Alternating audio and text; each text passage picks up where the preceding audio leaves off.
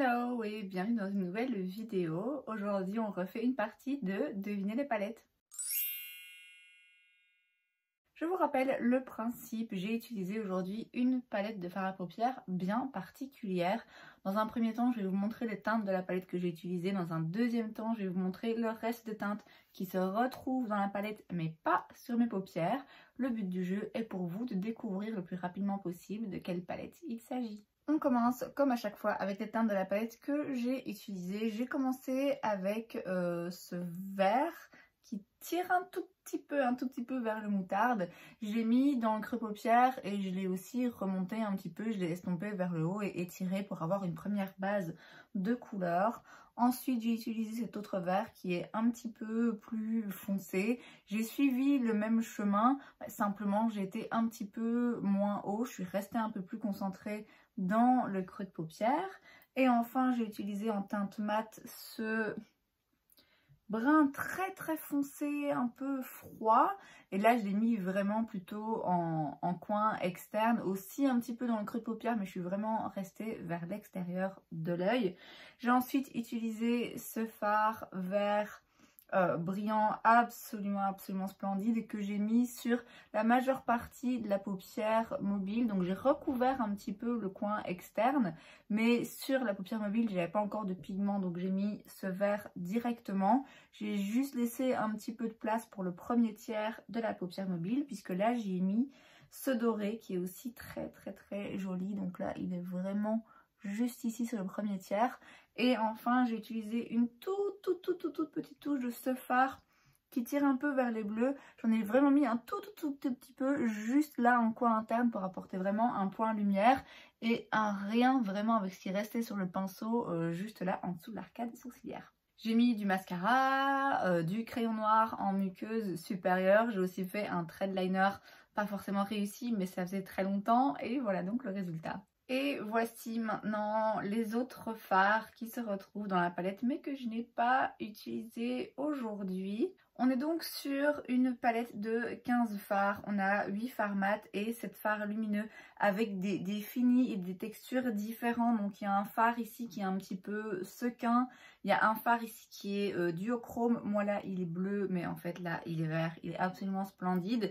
Il y en a qui sont plus brillants, d'autres euh, plus métalliques. Enfin voilà, on a euh, en tout 8 fards mat, 7 fards lumineux avec des finis différents. Je pense que si vous suivez un petit peu l'actualité en termes de make-up et, que vous prêtez attention à ce que je raconte, parfois vous aurez deviné parce que c'est un, un lancement assez récent et j'ai dit j'ai dit plusieurs fois que je pensais à me prendre cette palette. Alors, est-ce que vous avez deviné de quelle palette il s'agit? La palette que j'ai utilisée aujourd'hui pour créer ce look, c'est la Stone and Rock de chez Olenzai. Elle ressemble à ceci à l'intérieur. Elle est absolument, absolument splendide. Je ne peux pas vous dire à quel point je suis contente de l'avoir achetée. Alors, c'est la première fois que je l'utilise. Donc, je ne peux pas forcément donner un avis euh, définitif ou euh, qui se base sur plusieurs essais, plusieurs expériences. Mais franchement, pour un premier essai, je suis assez satisfaite et je dirais même que je suis euh, conquise, vraiment. Alors on va commencer par l'harmonie de couleurs. Euh, elle, est... elle est splendide. Je vais utiliser ce mot beaucoup beaucoup de fois. Hein. Euh, elle est vraiment splendide. Elle est très très bien travaillée. On est clairement sur une palette verte. Hein, mais ça décline en fait le vert de plein de façons différentes qu'on n'a pas forcément l'habitude de voir, en tout cas pas combinées ensemble. Et, surtout, ça va plus loin que ça. Donc oui, il y a du vert, mais il y a quand même moyen de faire des looks sans que ce soit euh, vert comme mon vernis. Vous voyez, il y a vraiment, vraiment moyen de faire des trucs un petit peu neutres. Et globalement, comme j'ai dit, voilà, c'est une harmonie de couleurs qui est très, très bien travaillée, très, très bien pensée. En termes de distribution, on a 8 euh, fards mat et 7 fards métalliques. C'est vraiment parfait parce qu'en plus, dans les 7 fards métalliques, j'ai des intensités différentes et j'ai des finis différents. Ce que j'aime dans cette harmonie de couleurs, c'est, comme j'ai dit, il y a du vert, mais il y a tellement de sous-tons différents de vert qui me permettent de l'utiliser un petit peu quand je veux. Je m'imagine très bien l'utiliser là, c'est euh, l'été, faire un look un petit peu fun, euh, coloré, un peu vif. Je peux très bien imaginer euh, l'automne faire des trucs un petit peu plus sombres. pour Noël, faire un truc vraiment vers Noël, vous voyez, c'est c'est juste une harmonie de couleurs que je me vois utiliser pas mal de fois. Alors pas mal de fois, on se comprend, hein, j'ai une large collection euh, de palettes de fard à paupières et je me maquille pas malheureusement avec tous les jours, en tout cas pas en ce moment. Donc je peux pas non plus les utiliser 15 fois sur le mois, mais je m'imagine vraiment créer des looks finalement assez différents euh, avec cette palette. Et contrairement à ce qu'on pourrait penser, on va pas avoir oh, juste une sorte de look, euh, voilà, du fard à paupières vert et c'est tout. Bon alors, c'est quand même principalement dans des tons et sous ton de vert. Donc clairement, si vous n'avez pas cette couleur, je suis pas sûre que ça vous plaise. Je l'ai dit, il y a d'autres teintes, mais acheter cette palette et ne pas utiliser les teintes vertes, serait quand même dommage. Alors en termes de formulation, encore une fois, c'est la première fois que je l'utilise mais euh, je suis vraiment très très impressionnée. C'est la première fois que j'essaye la marque Onzai et euh, écoutez, je suis tentée de retourner sur leur site et de me prendre d'autres palettes parce que c'est absolument absolument incroyable. Les farmats sont bien pigmentés mais ils sont hyper doux et soyeux. Euh, j'ai quand même travaillé des couleurs un peu intenses, j'ai pas eu de chute, j'avais fait mes yeux avant connaissant pas la formulation, je vous ai dit je vais faire les yeux avant, comme ça si j'ai beaucoup de chutes, ça va pas aller ruiner mon teint. Franchement, j'aurais pu les faire après. C'est vraiment aucun problème, aucun problème de, de, chute. Comme j'ai dit, c'est des mats qui sont soyeux, qui sont crémeux, qui sont pigmentés. Je pense pas que ce soit les plus faciles à utiliser forcément si on débute, parce que comme j'ai dit, le pigment est présent. Mais pour autant, ça s'estompe vraiment très bien, ça se travaille facilement ils peuvent vraiment s'étirer en fait. Je l'ai remarqué surtout en les swatchant sur mon bras. On, peut, on peut les étirer vraiment longtemps, c'est vraiment assez impressionnant. Le noir, j'ai à peine trempé mon doigt dedans et j'ai fait un swatch voilà, qui était opaque. Enfin, c'est vraiment une formulation vraiment vraiment impressionnante. Les lumineux, euh, je l'ai dit, il y a différentes euh, formules. Donc moi, j'ai utilisé principalement ces deux-ci. Celui-là qui est juste absolument splendide. La seule chose peut-être que je dirais, c'est que ils sont très lumineux, très brillants, très pailletés, vraiment très beaux, mais pas forcément, on dirait pas comme ça, mais pas forcément si opaque. Euh, donc c'est vrai qu'à l'avenir, peut-être mettre déjà un fard mat en dessous pour avoir déjà une base de pigmentation. C'est vrai qu'on dirait comme ça hein, qu'ils vont, être, euh, vont être très très pigmentés, mais en vrai ils sont surtout très lumineux. Et une fois qu'on dépose le fard, euh, on, garde le côté lumineux, mais on, perd un petit peu euh, l'intensité du pigment. Mais comme j'ai dit, c'est pas du tout un problème, c'est juste que voilà, si on veut avoir quelque chose d'hyper intense avec une, bonne base de couleur, bah, c'est bien de mettre un petit fard mat en dessous pour être sûr que, euh, tout ressort bien euh, des fards lumineux. Il y a différentes textures, hein. celui-ci, absolument splendide. Oh, il est hyper crémeux, je, je, ne comprends pas, hein. je sais pas ce qu'il y a là-dedans mais c'est d'une beauté absolument sans nom. Ce phare-là, en fait, j'avais même pas remarqué hein, de base qu'il était duochrome. Et, euh, et pareil, c'est en, en swatchant. Je sais pas si vous verrez, vous verrez rien, vous le verrez juste vert.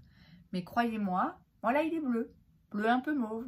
Et en fait, il est vert. Absolument, absolument, absolument splendide.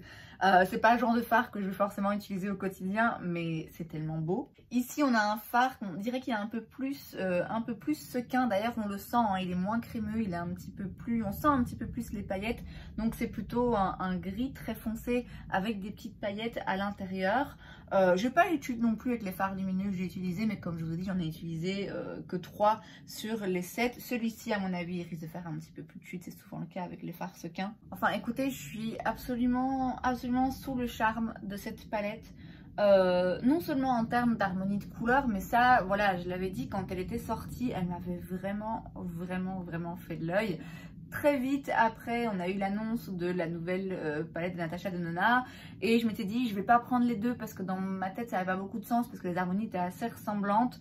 À bien y regarder de plus près, celle-ci, on est quand même plus vers je vais pas dire de ton froid parce qu'il y a du chaud, mais il y a des teintes qui tirent un petit peu plus vers le vert bleuté et vers un sous-ton un petit peu plus froid.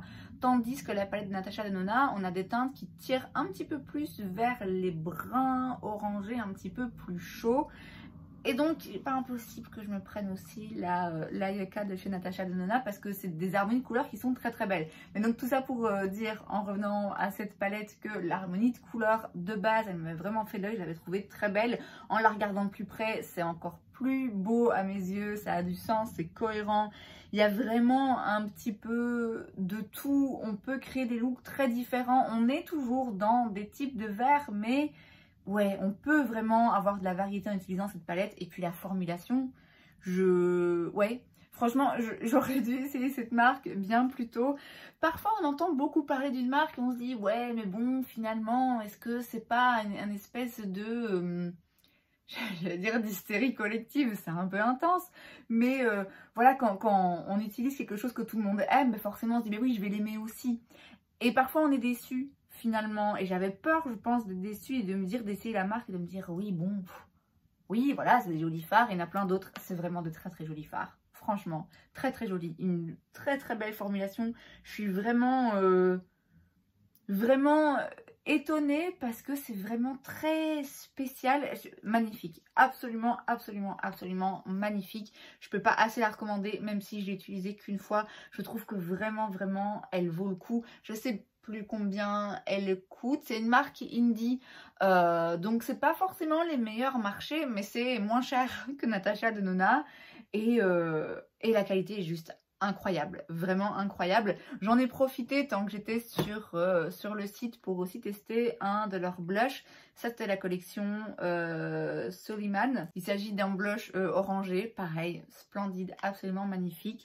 donc je pense que c'est la première fois que j'utilise la marque, c'est certainement pas la dernière que vous la verrez sur ma chaîne. Et c'est donc tout pour cette vidéo, j'espère que ça vous a plu. Si c'est le cas, n'hésitez pas à laisser un like. Vous pouvez aussi vous abonner à ma chaîne parce que c'est gratuit, donc pourquoi pas. Et moi, je vous la prochaine fois. Bye